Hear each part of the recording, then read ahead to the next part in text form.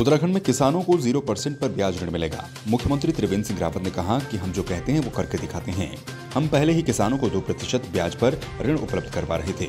जल्द ही हम किसानों को ज़ीरो परसेंट ब्याज दर पर ऋण उपलब्ध करवाने जा रहे हैं, ताकि किसान अपने उत्पादन को बढ़ा सकें और अपनी आर्थिकी को संभाल सकें।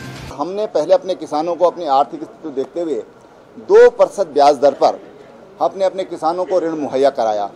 और अब हम ज़ीरो परसेंट की ब्याज दर पर अपने किसानों को बहुत जल्दी ये ऋण सुविधा उपलब्ध कराएँगे ताकि हमारे किसान अपना उत्पादन बढ़ा सकें, अपनी आर्थिकी को संवार सकें। सीएम ने कहा कि कांग्रेस की कर्ज माफ़ी किसानों के प्रति छलावा है।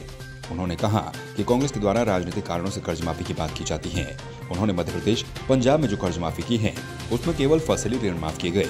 वो भी 2008 से पहले के जो कि पहले ही पट्टे के खाते में जा चुके हैं।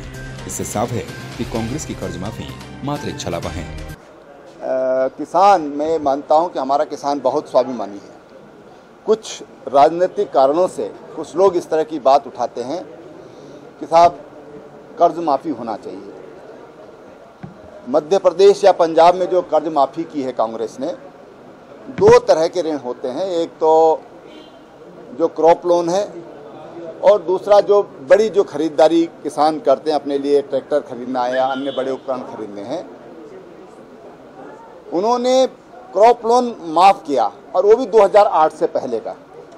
यानी कि जो पहले ही बट्टे खाते में जा चुका है, हम जो बोलेंगे वो करेंगे। संवाद थ्री के लिए देहरादून से कैमरामैन दिनेश कुमार के साथ काजल की रिपोर्ट।